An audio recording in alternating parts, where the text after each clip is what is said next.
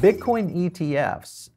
Your thoughts on is this a um, is it a play for a retail investor or someone that is maybe not necessarily jumping in or wanting to jump into what's happening in the spot Bitcoin, you know, marketplace? Yeah, so so I love ETFs. I hate ETFs that are based on futures. And the reason why you should be very cautious about ETFs based on futures is because there's a contract rollover with futures. And there's something called the contango effect where the future contracts generally are higher. So when a an ETF has to roll over the underlying contract, let's say it's at $10 currently and the few, the next contract is at 11, you're actually getting less Bitcoin by the rollover. So every rollover you do, you're actually losing a little bit of value. So ETFs that are based on futures inevitably go to zero. Now, it takes a long time, but my point is investors, especially in the retail side, you have to be very aware. Playing an ETF based on futures like the Bitcoin ETF great if you're a short-term trader maybe you want to hold for a couple months you're looking for a big breakout or or something like that but i would strongly discourage people from tucking it away and saying now i'm long bitcoin i'm going to put this in my 401k or something like that and check back mm-hmm. in 5 years unfortunately even if bitcoin goes up you probably will end up losing money on a Bitcoin ETF uh, future. Yeah. How does this affect the long term market from an institution side of things? Is this something that we'll see institution involvement, or do you feel like this is eventually going to eventually just going to be pretty much replaced from a market standpoint away from or by a spot ETFs that may be coming down the, the pipe? Yeah, so I, I, do think, and in fact, I was surprised that the uh, the SEC approved the futures ETF based on the fact that you know so many retail investors probably will be potentially harmed by it. Um, mm-hmm. But I do think eventually we will get the spot ETFs. Those are the ones that I think investors will want to tuck away. They'll be more matched. Now, granted, remember they pay a small fee. I mean, every ETF right. has a small fee to it.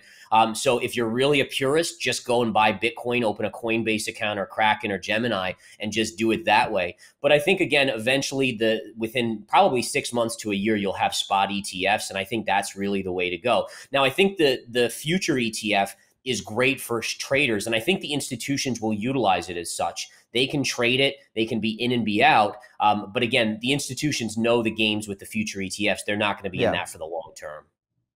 Yeah, that's what I, I fear is that we would see some potential harm to, yeah. you know, the novice investor that maybe, it, you know, they just, they're FOMOing in it, but yet they're not you know, confident enough to maybe go in and actually get into the game from a direct investment, whether it's through one of the exchanges, et cetera. Yeah, that's a concern. And and, and, and just a note, you know, you know, I traded in my early career, or not in kind of early to mid-level career there was there was a period where we started to get these triple etfs out in like kind of the 2005 2006 2007 timeframe. And and it took me a little while to realize that those all go to zero too. And i i you know with, when they were just emerging i was a novice at those too and i didn't really look into them enough. And i lost plenty of money not because the underlying assets went down but just because of that effect of a double and triple etf eventually going to zero as well just like a futures etf yeah, yeah. And I think a lot of people have looked at uh, this as really just a stepping stone to a spot ETF, which I think is, is going to be the case. But the big scenario I always have is is there an underlying effect here on the marketplace that uh, this was approved by the SEC before we get a spot you know ETF approved by the SEC? Because essentially, this, if you're trying to protect investors, I would think you would actually maybe hold back from approving something like uh, like this, especially in the volatility of a market such as this. Yeah. Yeah, yeah I agree 100%. I, I was I was honestly a little surprised at it. yeah. Let's get into Ethereum. And one, I want to take a look at your chart and what you're seeing on ETH. Obviously, we've seen another all-time high hit uh, this week. Uh, Ethereum, Ethereum over the 4,600 mark, and really starting to see some activity again within the ETH ecosystem. But at the same time, gas fees are in essence, at another all time high. So, explain this other than, I mean, obviously, we know there's been scenarios with uh, some burning of ETH, and we definitely see the inflationary side of it, or I should say, deflationary side of it, really playing into that. What are you seeing on the charts with Ethereum, and is this a run that is about to happen, or do you think this might be a little fake out? Yeah, so so as of as of now, it looks like Ether will confirm. So we were just talking about how Bitcoin had gone Yep. above that previous all-time high and then reversed back down and didn't confirm. What you can see here is here was your previous high. Here it touched it and pulled back. Here it closed above, but no confirmation. Yesterday, you closed above the high, Yep. and it looks like you'll confirm today with that secondary close above the first breakout high. So, to me, what that tells me is the likely course of this is going to 5,000 now. That Yeah. even number, uh, oftentimes in charts, whether it's stocks or, or crypto, when you get within about 10% or so of a major even number like 5,000 or, or for instance, Google at 3,000 or stuff like that, you will ultimately get pushed there. It's kind of this, this sentiment driver. So I would say Ether over the next week or two could very easily get to 5,000 in the short term. Yeah. I'm feeling I'm feeling with you. I've got your I got your back on that one. I'm I'm pushing a little stronger because I'm looking at Ethereum maybe really cracking into uh, an all-time high or or a new I shouldn't say a new high. This I follow Raoul Pal quite a bit in terms of his his scenario on Ethereum and just you know the the fundamentals of what ETH does and and just the ability of what that marketplace really has to hold. So I'm looking at end of year that this could be a really big asset to hold. Talking about Ethereum futures ETF, they're talking about coming before the spot ETF of Ethereum. And again, it's kind of the same, you know, round again. Is this a scenario that could slow down Ethereum with another futures traded ETF entering except in the Ethereum space? What are your thoughts there? So, so I think it's going to be the same kind of thing. You'll probably see the hype drive it up in the near term, and then Yep. once it comes out, you know, it may hurt investor sentiment a little bit with how the performance is relative with the contract rollover. But I think overall, you know, investors they they continue to focus on the crypto itself.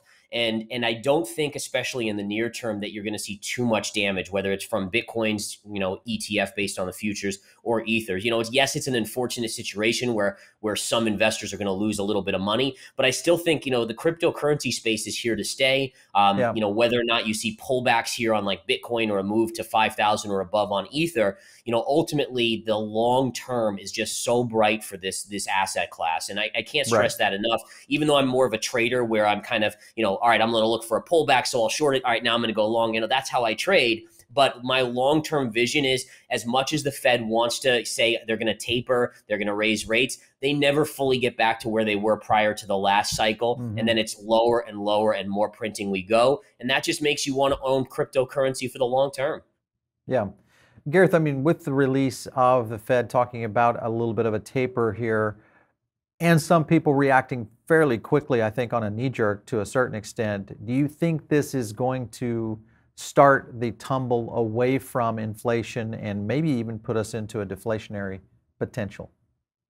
I don't believe so. So one of one of my concerns, and this is one of the things that's bugged me for the last six months. You know, six months ago, the Fed said, "Yeah, we're going to have inflation, but it's going to be very short lived. It's going to be transitory." And then I started to see all these, you know, help needed signs, help wanted in Mhm. all these stores, and people's wages are just skyrocketing. And the problem is, is when wages go up, we know that that's the biggest input cost to a business, right? Now, a business can't turn around and wage uh, raise the cost of a widget that they're selling by doubling that widget cost. Cost or people are going to say, "Wait a minute, I'm not I'm not paying you know hundred dollars for a widget when it was fifty dollars yesterday."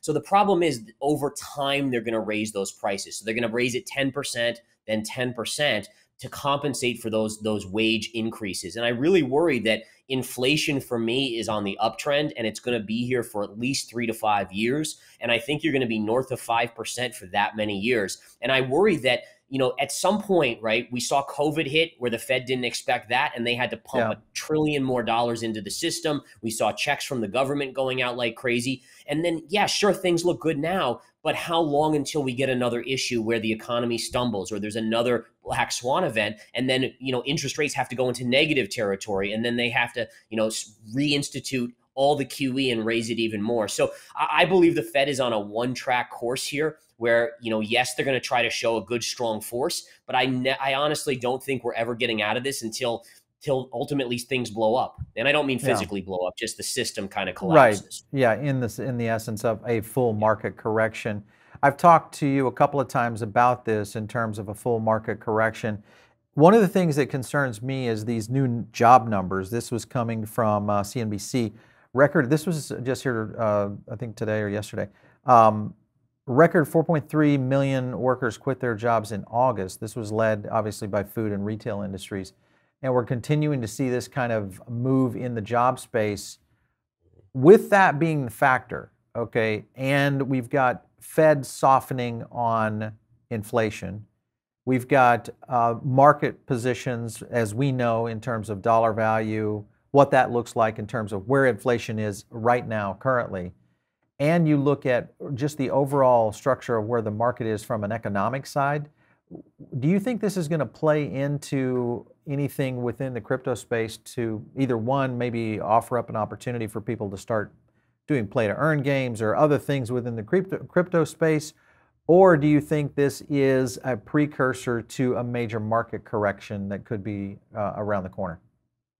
So, so I do think ultimately we are getting closer and closer to that kind of scenario where you see a liquidity collapse, where where there's been so much money pumped into the system that yeah. eventually the bubble bursts. If you blow a balloon too big, eventually it pops. Um, the question is, when is that going to happen? What I find ironic is that the Federal Reserve has gone to major extents to kind of keep the market moving up by flooding the system with liquidity. Yeah. And in my opinion, that's actually hurt the the people looking for jobs meaning that you have so many people that have made a decent amount of money in the crypto space or in stocks with the stocks always going up mm-hmm. that you've actually seen lots of people come out and say hey I quit my job because I'm making more money than I was at my job by by you know trading cryptocurrency or being long ether or polkadot yeah. or, or, all these things so it, it's kind of like a weird scenario where the fed wants to get people back to work but at the same time the more money they pump into the system the more people are saying well i can just go long you know tesla and and not have to work mm-hmm. you know so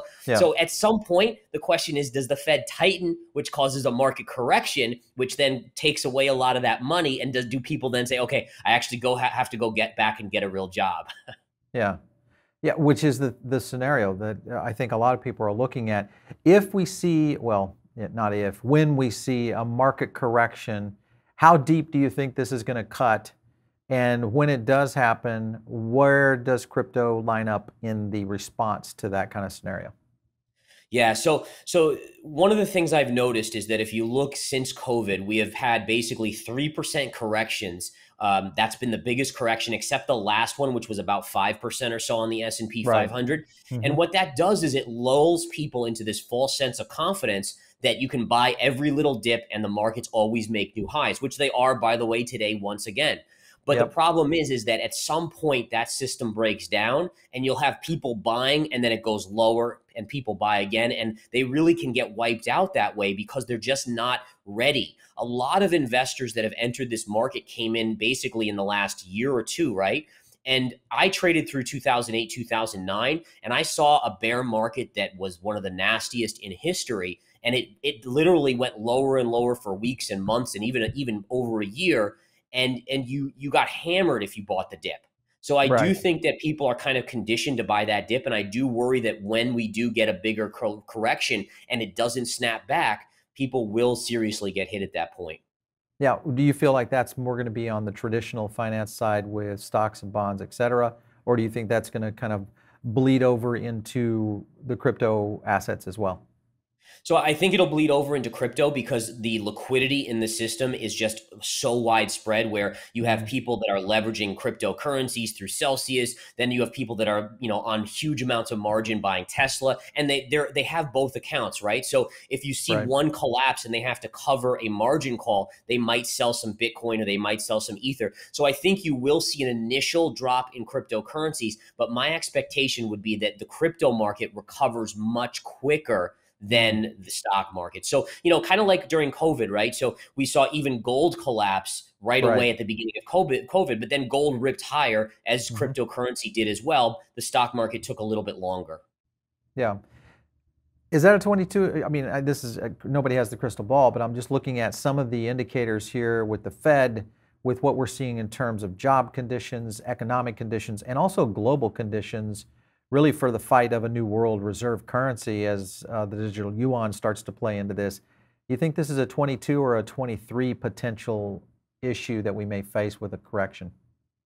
Man, I, that is that's the million zillion dollar question. So uh, to be honest, I, I honestly thought it would have started later this year. I thought uh-huh. that we were going to see more regulation coming on the tax side with with long term cap gains maybe rising. That hasn't come to fruition. Doesn't look like it's going to get passed. So that's kind of given the market a pass where you haven't right. seen a lot of big money selling. So I would say 2022 is likely. But again, you know, timing is the hardest thing in the world. I mean, it's very easy to know the end game, but can you time it correctly? I right. would again go, go on the 2022 side though. Yeah. Last question for you is positioning your portfolio in a time like this. And uh, I mean, we don't give it financial advice on this channel, but if you were doing, if I was doing it a certain way, what is the strategy you would take?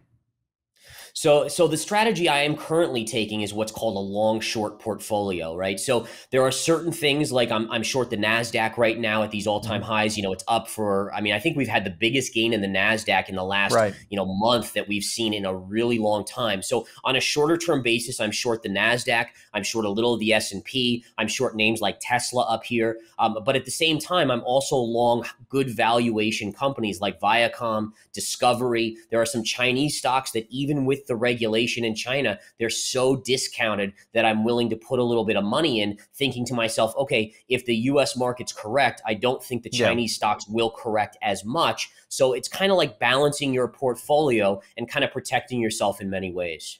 Yeah, for sure. Interesting stuff. Going to be close to watch here. Gareth Soloway coming over from inthemoneystocks.com. Uh, so make sure and check him out. Thanks for stopping in today, uh, Gareth. We appreciate it. Thank you so much for having me. Excellent. All right, you guys are listening in over on the podcast right now. Thanks for tuning in over there. Uh, one of the best things you can do, of course, is though is subscribe right here on the YouTube channel and make sure you get into the Diamond Circle. It's one of the big ways that we give back to our audience through NFT and also digital asset rewards. We've got some NFTs lined up uh, coming soon that are going to be dropping within that. We do giveaways from time to time on our live shows, so make sure and tune anytime you see that notification. But if you don't hit the bell, you're not going to get notified when those lives go up. So that's the thing you want to do. And of course, just hit the link right there in the description below to get to the Diamond Circle. If you have an idea for a show or you want us to cover a topic or a, uh, maybe a, a project, a crypto project, drop it in the notes and in the comments below because that's how we feed and we really kind of understand what you guys are looking for. And of course, you can always hit me up on Twitter, which is just at Paul Barron. We'll catch you next time right here on TechBath.